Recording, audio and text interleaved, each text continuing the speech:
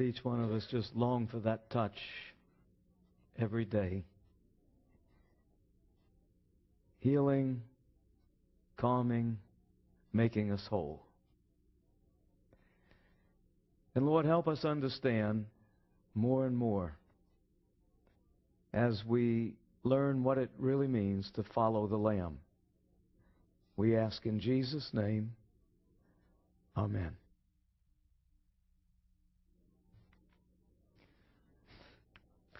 We were uh, doing a Revelation Now meeting, and a little town was Waynesboro, Virginia. And in small towns, you can afford a lot more advertising because it's not so expensive. So we just saturated. We had hundreds of radio ads and newspaper ads all over the brochures everywhere. And I was listening on the radio trying to see if I could hear some of the advertising. And sure enough, as soon as I turned it on, I heard a man breathing rather heavily.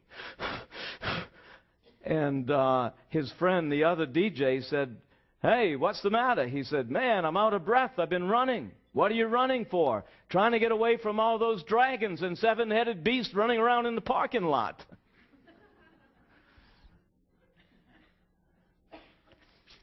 You know, a lot of people think that that's what Revelation is all about dragons and seven headed beasts. But Revelation is about the Lamb. It's not about the beast. And Revelation is about those who would worship the Lamb. It's a spiritual book filled with spiritual themes. And those who want to hear only about the dragons and the beasts and all of the animals can't understand why do we take the time to talk about the gospel? Why do we take the time to talk about the cross? Why do we take the time to talk about the law and the grace of God and the Lord's day? But when we understand the issues of revelation, it's the revelation of Jesus Christ. And all of these things teach us who Jesus is, who God is. The Bible begins with the words, Blessed is the one who reads and take to heart the words of this book. There's a blessing here. And that blessing only comes as we know God and Jesus Christ. The book of Revelation is a, is a book about worship. In the, in the 12th, 13th, and 14th chapter, we discovered a conflict. A conflict between those who would worship God, the creator of the heavens and the earth, and those who would worship the beast. The Bible tells us we worship God for two reasons. We worship Him because He is the Creator.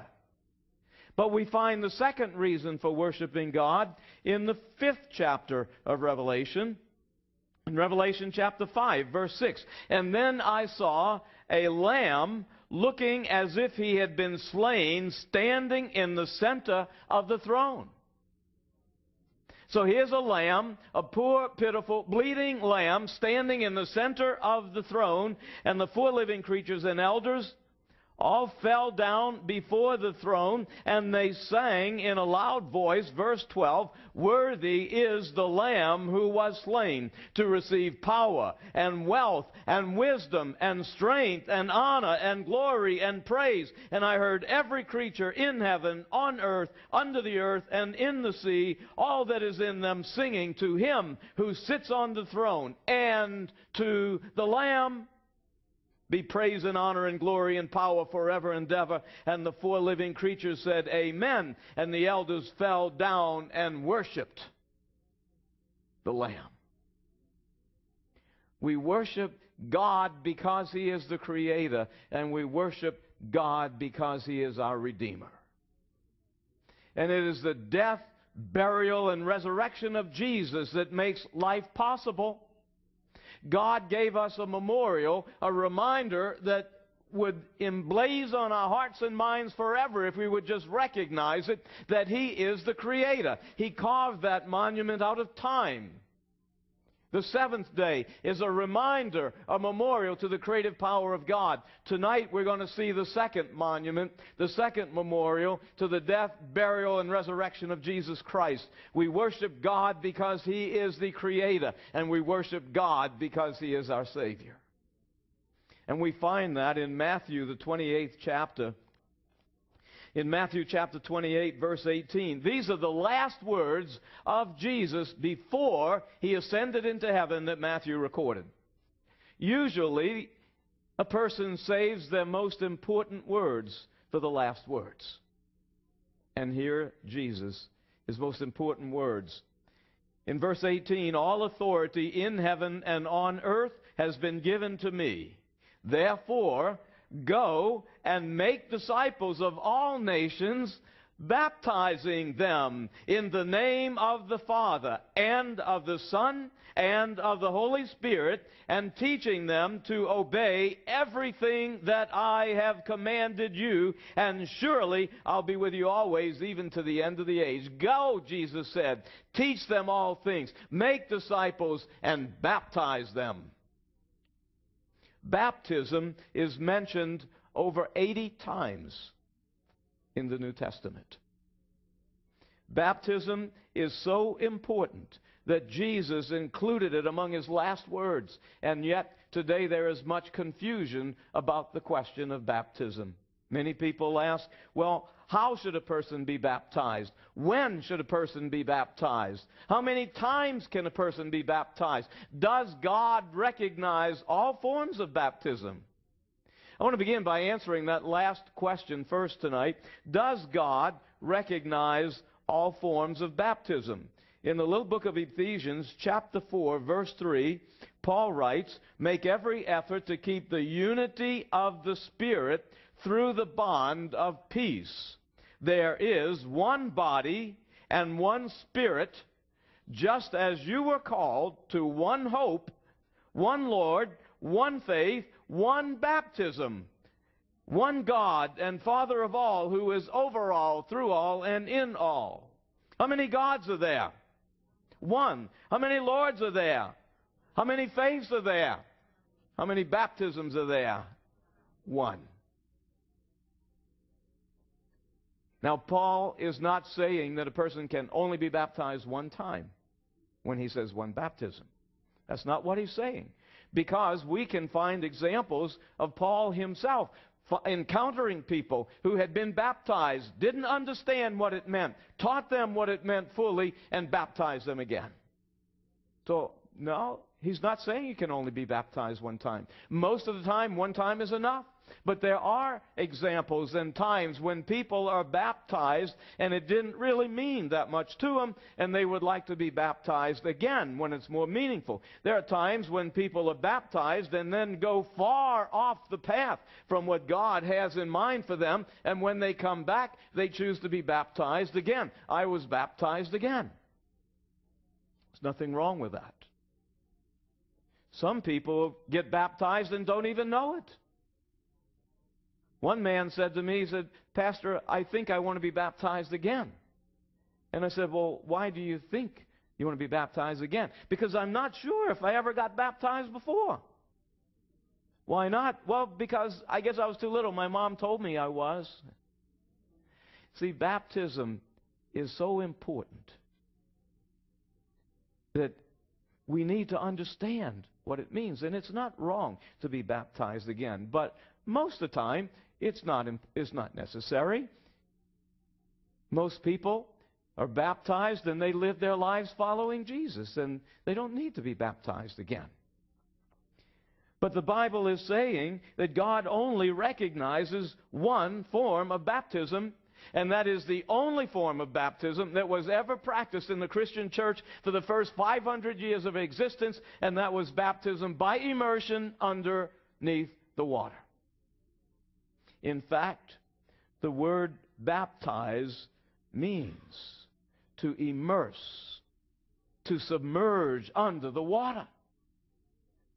In fact, the word baptize is not and was not even a religious word. It was a common, ordinary word used by everyone. If a person, a lady back in Bible times, wanted to dye a piece of cloth, she would say, I'm going to baptize the cloth in the dye. Because that's what it meant. If you lived in Bible times and you wanted to dunk your donut, you would say, I'm going to baptize my donut. Now, any donut dunker that knows anything about Dunkin' Donuts knows that you don't just sprinkle a drop or two on the donut. You got to put it under the surface, get it good and wet. Amen? That's what it means to dunk a donut. And that's what it means to baptize. You see, the Greek word baptizo was a common, ordinary word. It meant to immerse. And when the Bible translators who were translating the Bible from Greek into English came to that word, baptizo, they should have translated it immerse. Go and immerse them. The problem was they were not baptizing by immersion anymore. And so they couldn't translate the word, so they did what is called a transliteration. Transliteration is simply, instead of translating what the word means, they translate the letters. The beta was a B. The alpha is an A. Pi is P. And they got the English word baptize. See, you knew a little Greek and you didn't even realize it. Baptize is a Greek word. It means to bury, to immerse under the surface. That's the meaning of the word. So when Jesus said go and baptize, he really said go and immerse, put them under the surface of the water. And we can understand why this is important when we understand the true meaning of baptism. In Romans, the sixth chapter, we find it in Romans chapter 6, verse 1. Paul begins by saying, What shall we say then? Shall we go on sinning so that grace may increase? Now, why did he say that? Obviously, he was answering a question that was being raised at the time. There were people who were actually so upset with Paul's teaching that we're saved by grace through faith and not by works, but it's a gift of God.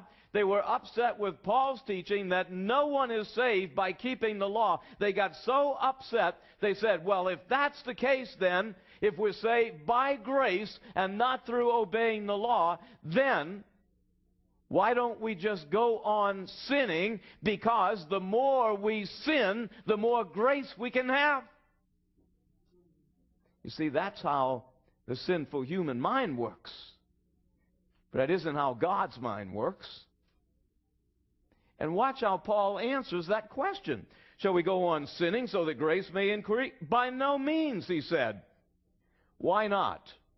Because we died to sin, so how can we live in it any longer? What do you mean, Paul? We died to sin? What does that mean? And watch how he answers that question. What does it mean to die to sin? Don't you know that all of us who were baptized into Christ Jesus were baptized into his death? You can't go on sinning. Why not? Because you died to sin. What's that? You were baptized. That's why you can't go on sinning. You were baptized into his death. You were baptized into Christ's death. We were therefore buried with him through baptism into death, in order that, just as Christ was raised up from the dead through the glory of the Father, we too may live a new life. That's why you can't go on sinning. Of course, we're saved by grace through faith. We are not saved by obeying the law. Obeying the commandments of God saves no one. But you can't go on sinning because you're saved by grace. Why not? Because you were baptized. And when you're baptized, you die to sin. You were buried into his death. And that's precisely why God can say, like he said to Adam and Eve, if you eat the fruit of the tree, you will die. And like he says to us, the wages of sin is death. If you sin, you're going to die.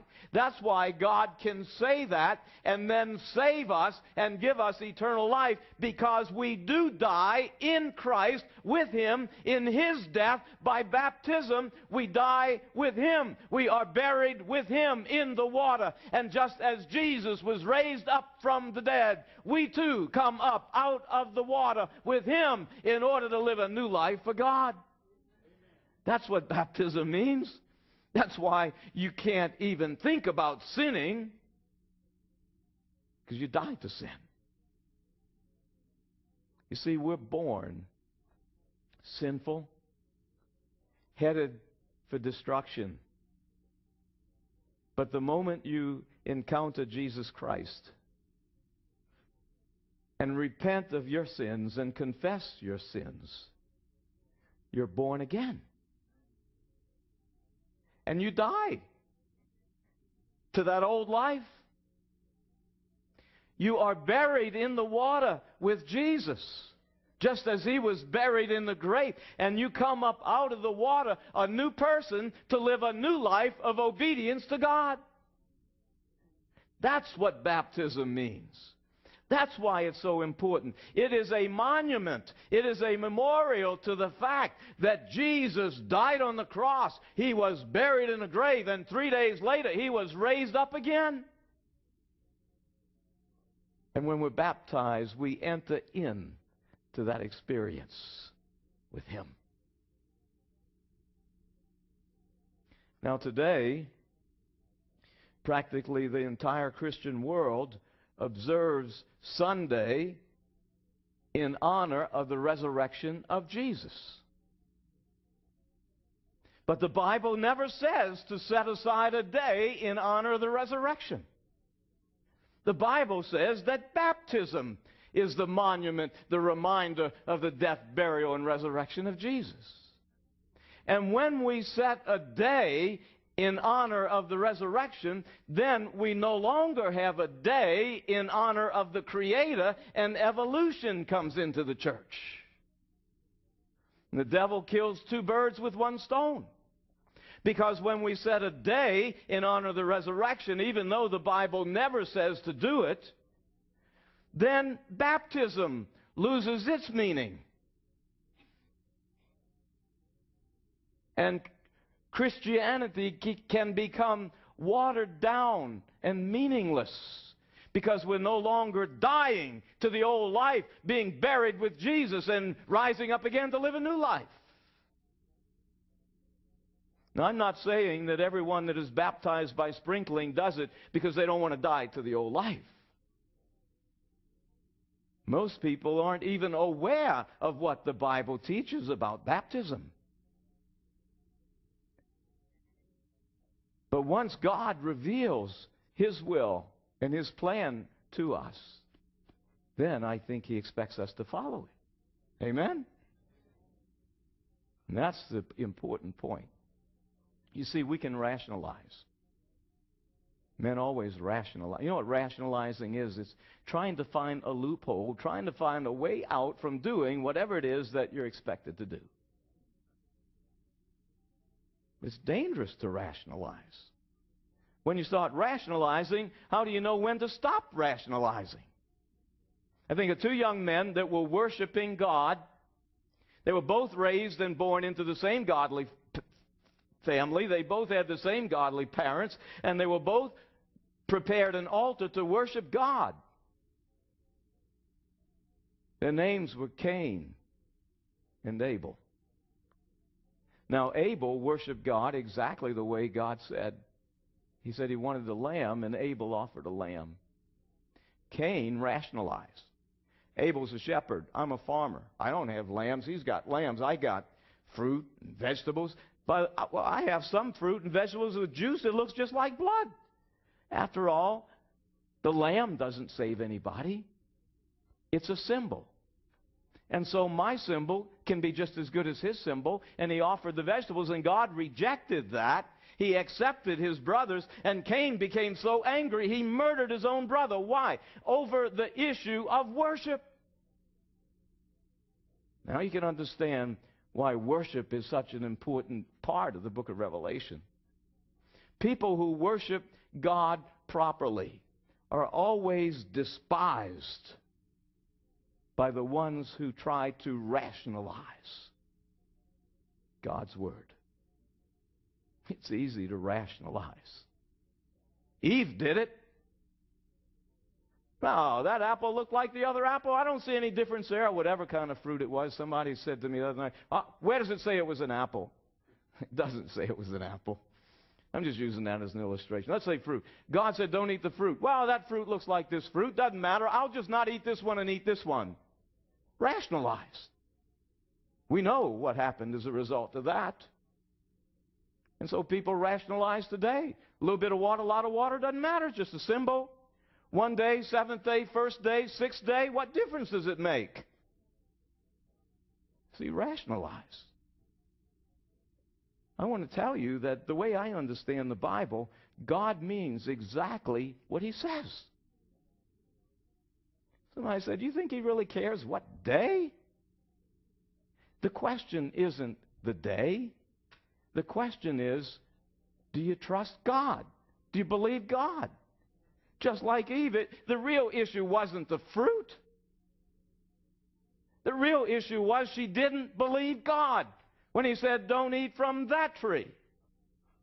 And so today, God says, This day is the day I make holy. The real issue isn't which day, it's do you believe God means what he says? That's why it's important. Baptism, he says, be immersed. And some say, oh, a drop or two will do. God means what he says. When you start to rationalize, how do you know when to stop? For the first 500 years in the history of the church, they baptized by immersion under the water. But then maybe one day somebody said, Ooh, there's too much work in the desert here. Not that much water. Get together. Maybe we can just get a bucket and pour it on top. And they start baptizing by pouring, rationalizing. And then one day, a lady was going to be baptized, perhaps, and she said, You know, I just came from the beauty parlor. I got a new hairdo. All that water, hey, it's just a symbol. Little water, a lot of water, doesn't matter. Just sprinkle a drop or two. That's okay. It's a symbol. Makes sense. But not to God. God says, immerse under the water.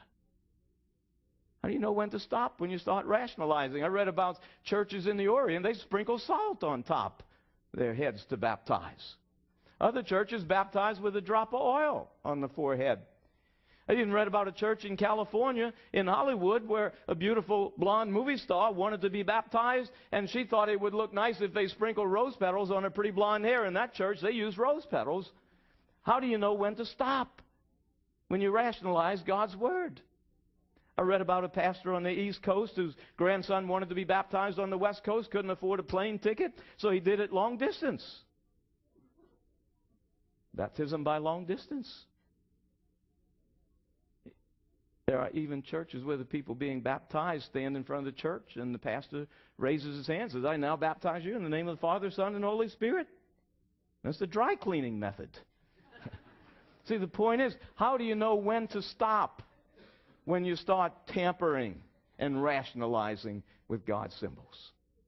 How do you know when to stop? Long time ago, a Native American chief walked into the mission on the frontier, sit in a frontier town. And the padre was busy there in the mission, and the chief saw a Bible sitting on the table. He said, What's that? The padre said, That is the Word of God. And the chief said, I want to read that. So the padre loaned him his Bible. And every night the chief stayed up late reading by the light of the fire. the Word of God. Finally, he finished the book all the way through. Went back to the mission. And he told the padre, he said, I want to be baptized. And the padre says, Great. No, nothing more exciting than somebody wanting to be baptized. So he turned around and he took a little gold cup out of the cupboard and took some water to put in the cup. And the big chief looked at that gold cup. He said, That's too small. Padre says, No, you don't get in the cup. I'm going to just sprinkle a drop or two on your head from the cup. And the chief said, Oh, if that's the right baptism, then you gave me the wrong book. Because he understood that baptism meant to be buried under the water, to die to that life of sin, to rise up again in order to live a new life for God. Once you rationalize, how do you know where to stop? Well, okay, Pastor, I understand baptism means to immerse, to bury under the water, but, I mean, really, how important is it? What a question. God doesn't say anything that's not important, does he? Every word that comes from his mouth is important. But Peter makes that clear to us in 1 Peter chapter 3, looking at verse, oh, verse 20. Here he's speaking about the flood. You remember the story of the flood? And he speaks about the flood and those who disobeyed long ago when God waited patiently in the days of Noah while the ark was being built. In it, only a few people, eight in all, were saved through water. Now listen to this. And this water symbolizes baptism that now saves you.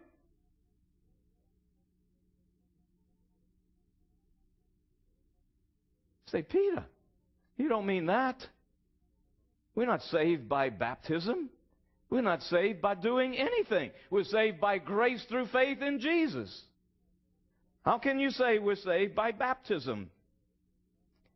He answers that. He says at the end of verse 21 not the removal of dirt from the body, but the pledge of a good conscience towards God. It saves you by the resurrection of Jesus Christ, who has gone into heaven and is at God's right hand. No, we're not saved because we're baptized. We are baptized because we're saved through the resurrection of Jesus. See, baptism, the waters of the flood were a symbol of baptism. God used the flood to destroy the old world the way it was, full of sin. And then the flood went down, and the earth comes up again, a new earth, ready to be inhabited by people willing to obey God. And that symbolizes baptism, dying to the old life of sin, burying in the grave, watery grave, coming up again to live a new life. And that's what saves you. Now, how can baptism save you? Through the resurrection of Jesus. Follow me. Jesus was baptized by John the Baptist. He never sinned. But when he was baptized, John said, I'm not worthy. Jesus said, This must be done in order to fulfill all righteousness. And so Jesus was baptized. Why? In order to fulfill all righteousness. You see, we have sinned. We cannot obey God's commands, and therefore He sent His Son Jesus to come into this world. He kept the commandments. He did everything that we should have done. He was even baptized for us. And when we accept Him, His perfect life stands in our place. Even his baptism stands in our place because your baptism and mine is not good enough. Only the baptism of Jesus was good enough. It's his resurrection that saves us. And that's how the thief on the cross can be saved. He didn't get baptized after he believed. He couldn't get baptized. He was hanging on a cross. But Jesus' baptism stood for him. It's his baptism that saves you. And therefore, when we accept Christ, then we follow and we obey. Noah wasn't saved because he built the ark. He built the ark because he was saved and had faith in God. We're not baptized in order to be saved. We are saved and we're baptized because we are saved. Can we accept the blood of Jesus and reject the waters of baptism and claim to be following the Lamb? Well, okay, I need to be baptized. You convince me. What should I do in order to prepare for baptism? I found three things that I think the Bible points out for us that preparation for baptism. In Mark chapter 16, verse 16, Jesus said, Whoever believes and is baptized will be saved. Baptism is for believers. There's nothing magic about the water. You can't pick somebody up and throw them in the water and say, now you're baptized, whether you wanted to be or not, now you're saved. No. Baptism is for believers. He who is who believes and is baptized is, is going to be saved. We're saved because we believe in Jesus. We're saved by faith, and we're baptized as a visible expression of our faith in God. So it doesn't do one bit of good to be baptized if you don't believe in Jesus. Now, there's something else that flows naturally from that. In order to believe in Jesus, a person must be old enough to understand about Jesus. You can't baptize an infant because they don't know how to believe. The Bible says we dedicate infants to God. It's a special service of dedication to God. And then we dedicate them hoping that their parents will raise them and train them to follow the Lamb so that when they're old enough to believe, then they will be baptized too.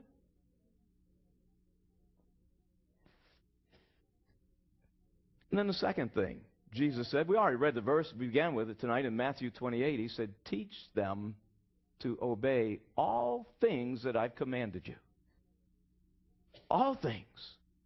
So baptism means that we need to understand what Jesus wants us to do. Before we're baptized, we should understand what it means to follow the Lamb. We should know a little bit about what that life of sin is that we're dying to, and we should understand what the new life is that God wants us to live, and we should be willing to order our lives in harmony with God's plan for us and then we're ready for baptism. Now, it doesn't mean that we need to be perfect and mature. Baptism is not the graduation service for Christians, it's the enrollment service. So, the moment we understand what it means, and the moment we repent of our sins and we want to follow Christ, at that moment we're ready to be baptized. And then the third thing that I see in the Bible on the day of Pentecost, when Peter preached a powerful gospel sermon, they came to him and said, What should we do in order to be saved? And Peter said, Repent and be baptized. In fact, John the Baptist in Luke, the third chapter, if you look with me in the Gospel of Luke, chapter 3, John the Baptist went through all the country, in verse 3, all the country around the Jordan River, preaching a baptism of repentance for the forgiveness of sins. So, baptism is a demonstration of our repentance for sin. John said in verse 7 to the crowds coming out to be baptized. Imagine, he makes an altar call, and a crowd comes down and says, Baptize us, John. Wow, you'd think he would really be excited. Amen? No. Not so fast. He said to the crowd in verse 7, You brood of vipers. Modern terminology, you bunch of rattlesnakes. Who warned you to flee from the coming wrath? Produce fruit in keeping with repentance. And don't begin to say to yourselves, We have Abraham as our father. God can raise up stones out of the, uh, make children of Abraham out of stones. Some people say, I don't need to be baptized. My church doesn't do it. You're not going to be saved because you belong to a church. You're going to be saved because you follow the Lamb and you believe in Christ. Amen? God can raise church members up out of stone. Repent. Produce fruit in keeping with repentance. What does repent mean? Repentance means to be sorry for your sins. Not just lip service. A deep, heartfelt sorrow and anguish for sin. And we had two boys, you know, and and uh, when they were little, the little one always came out on the short end of things when they played together. I mean, they're three years apart, and he would always get knocked down and hurt. So we'd tell his big brother, "Now you go over there and you tell your brother you're sorry." No, that didn't always go over too well. And sometimes he would just take his time to get over there and get there and mumble something no one on earth could ever understand. That isn't repentance. Repentance is being so sorry that you hate it when you sin. You hate it when you lose your patience. You hate it when you snap at your kids and your wife. You never want to do it again, and you say, God, help me never to do it again. That's repentance. Now, notice, John the Baptist would not baptize everyone who said, Come baptize me, John. He wanted to see a demonstration of repentance before he baptized them. Produce fruit in keeping with repentance. Again, it doesn't mean that we that, that we need to be perfect. If you were perfect, you wouldn't need to be baptized. But it does mean that we should be willing to make the changes in our lives that God wants us to make. And then we're ready for baptism. Well, then, when should a person be baptized? In Acts, in the book of Acts, the eighth chapter, is one of my favorite baptism stories. In verse 26, an angel of the Lord went to Philip and he told him, Go down the desert road. And so he started out, and on his way he met an Ethiopian. He was sitting in his chariot reading the book of Isaiah the prophet, and the Spirit told Philip, Go to that chariot and stay near it. So Philip ran to the chariot, and he heard the man reading from the book of Isaiah the prophet. Do you understand what you're reading? Philip asked. How can I understand, he said, unless somebody explains it to me? Don't be embarrassed if you don't understand everything about the Bible and, and God sends someone to explain it to you. That's one of the gifts of the Spirit and the ministry of the Spirit. And so, how can I understand unless somebody explains it to me? So, he explained to him about Jesus. He knew about how to live the godly life. He understood those things, but he didn't know Jesus. So, he explained to him about who Jesus was and it tells us right there in verse 35 he told him the good news about Jesus. As they traveled along the road, they came to some water. And the Ethiopian said, Look, there's the water. Why shouldn't I be baptized? And then both Philip and the Ethiopian went down, look, down into the water. Where did they go? Into the water. And Philip baptized him, and when they came up out of the water, he didn't sprinkle a drop or two here and a drop there. They went into the water. He baptized them. They came up out of the water. Now, there's something else here. As soon as the Ethiopian was ready to be baptized, he was baptized. He wasn't even at home, he was in a foreign country. He didn't say, Well, I want to wait until I go home so that everybody I know can see me.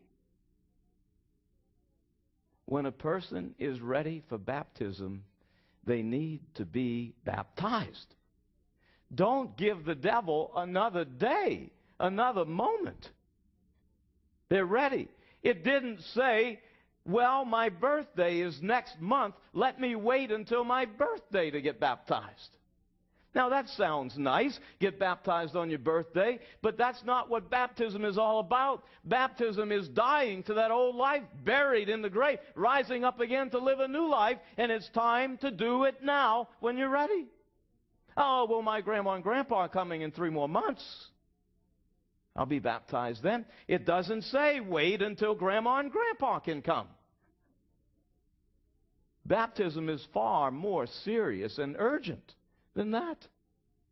He was baptized right then in a foreign country because the Spirit prepared him. He was ready.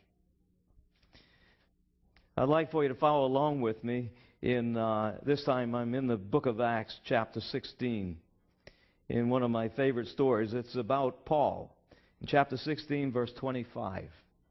Paul and Silas had been preaching the Word of God, and they were put in prison because they were preaching the Word of God. You know, I don't think we can begin to understand or appreciate the, the value of the freedom that we have in this country. Amen? I mean, we can feel free to preach and teach whatever we want to believe. But there are a lot of countries that aren't that way, and I'm just thankful for that. I'm thankful for that. And here, Paul had been preaching the gospel, and Silas together, evangelistic team. In verse 25 of Acts chapter 16, about midnight, Paul and Silas were praying and singing hymns to God, and the other prisoners were listening to them. Now, have you ever thought about that? Here they were in prison, having been beaten, in stocks, locked up, midnight, and what are they doing? They're singing hymns to God. I mean, the rest of the prisoners, can you imagine what they were thinking? What are you guys doing over? Be quiet, it's time to go to sleep. And they're singing hymns to God. I really, I love that picture of peace in the middle of adversity, like Paul and Silas.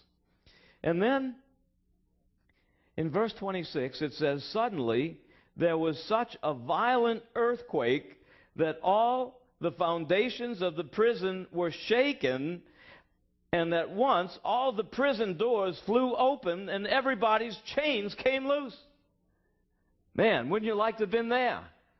We see demonstrated the power of the Holy Spirit. Here they were prisoners singing hymns to God midnight, and in the middle of their captivity, chained in their cell.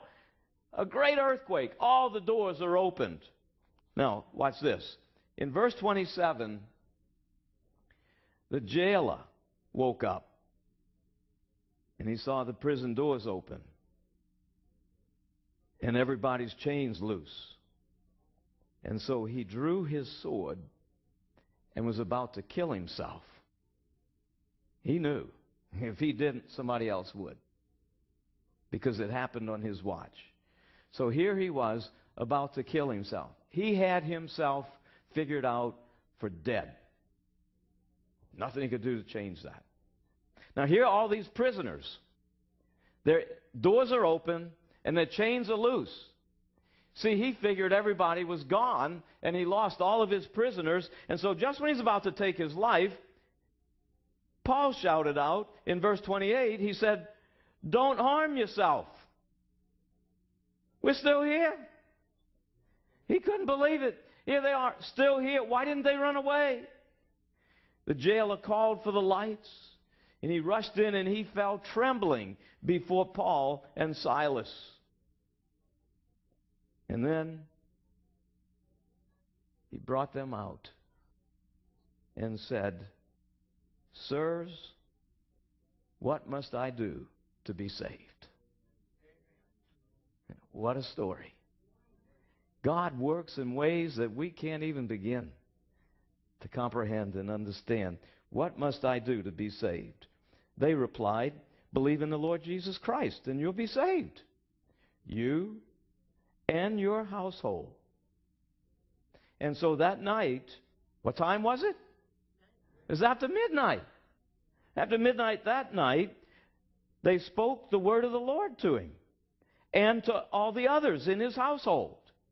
And at that hour of the night, the jailer took them and washed their wounds, and immediately he and all of his family were baptized.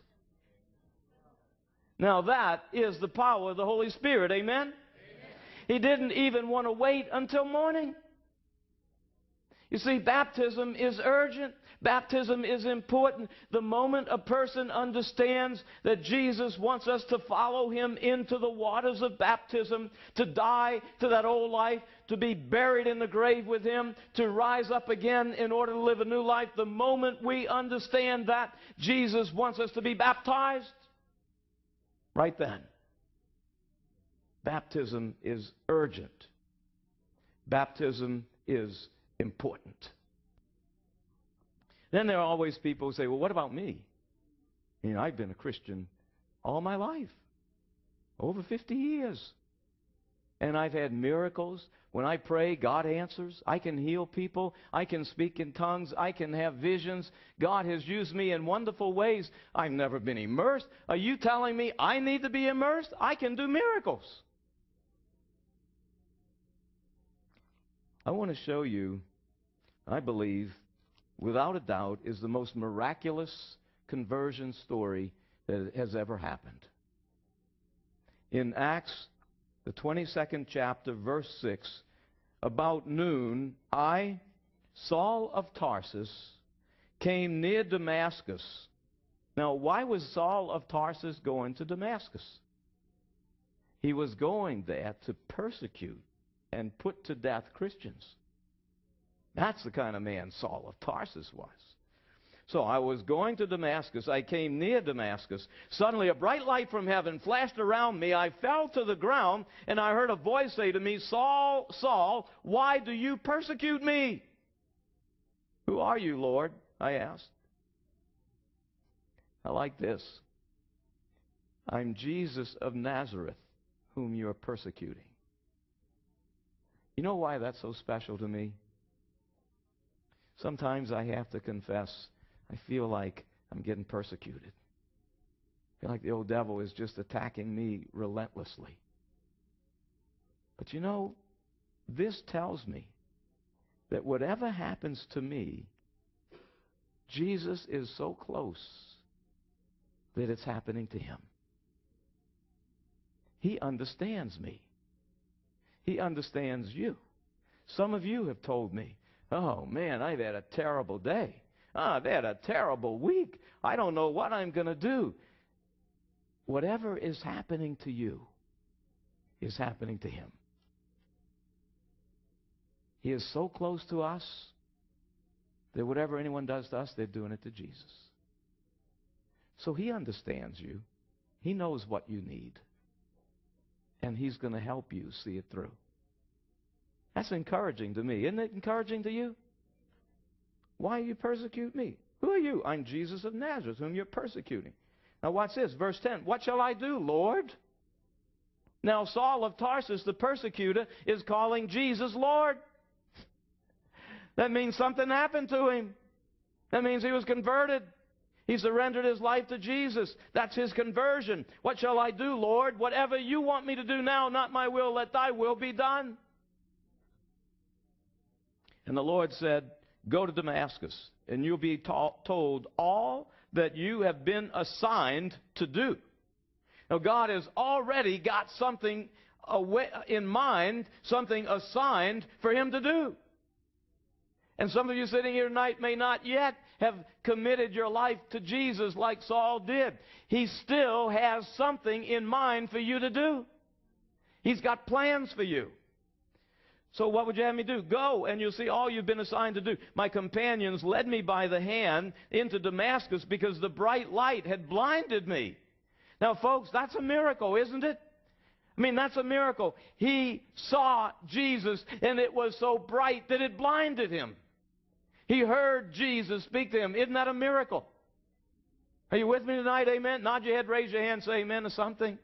It's a miracle. In verse 12, a man named Ananias came to see me. Was a devout observer of the law, highly respected by all the Jews living there. He stood beside me and he said, Brother Saul, receive your sight. And at that very moment, I was able to see him. That's a miracle, isn't it? I've never seen anyone more miraculously converted than Saul. Then he said in verse 14, The God of our fathers has chosen you to know his will and to see the righteous one, that's Jesus, and to hear words from his mouth. And you will be his witness to all men of what you have seen and heard. And at that point, Saul of Tarsus, the persecutor, became Paul the apostle. What a conversion! Even had his miraculous call to be an apostle. And so Ananias said, Now, what are you waiting for? And you'd think he would say, Get on out there and do the work of an apostle. That's not what he said. What are you waiting for? Get up, be baptized, and wash your sins away. Know anybody that's had more miraculous conversion than Paul? And he still needed to be baptized. When Jesus said, Go and be baptized, he meant exactly what he said. In fact, he even told Nicodemus, said, Unless a man is born of water and the Spirit, he'll not see the kingdom of God. That sounds serious to me. But just in case someone isn't convinced, I want you to go back with me to the Jordan River. And John the Baptist is standing there, baptizing people. He looks up, and then he sees Jesus, points to him, and says, Look, the Lamb of God who takes away the sins of the world. And he couldn't believe what he saw next. Because Jesus Christ, the Lamb of God, began to take off his outer robe and walk down into the muddy water of the Jordan River. He said, John, Baptize me. John said, Jesus, I'm not even worthy to untie your shoes. But Jesus said, John, this must be done in order to fulfill all righteousness. And so, John baptized Jesus the sinless Son of God, in the muddy waters of the Jordan River. And after Jesus came up out of the water, they heard the voice of God saying, This is my Son, whom I am well pleased. Imagine Jesus going up on the bank of the river standing there with water dripping from his beard and his robe. And he sees a man standing next to him and he says, Were you baptized? And the man says, No, I wasn't baptized. Jesus says, I was baptized. And the man says, Well, maybe it was necessary for you, but I don't think it's necessary for me. Makes me feel blasphemous just to say that if it was necessary for the sinless Son of God to walk into the muddy waters of the Jordan River in order to be baptized, how much more should you and I be willing to follow the Lamb?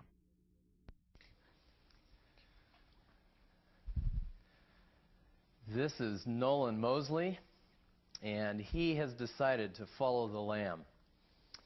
I've really enjoyed getting to know Nolan, and I appreciate his grasp of not only Scripture, but this whole idea of letting God be Lord and Master of his life. And I appreciate that so much, Nolan. And I just covet this awesome opportunity to baptize you today.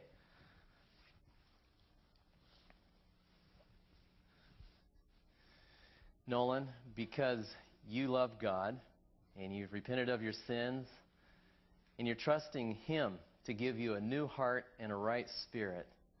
I now baptize you in the name of the Father, and of the Son, and of the Holy Spirit. Amen. God bless you. Monitor off. Wasn't that special? Some of you have never seen a Bible baptism like that before. For some, it's the first time. And I just trust and pray that it'll strike a chord in your heart. And that God will use what you have just experienced to put a desire in you to follow the Lamb, just like Nolan did, and to go down into the waters of baptism before it's too late. Pray with me tonight.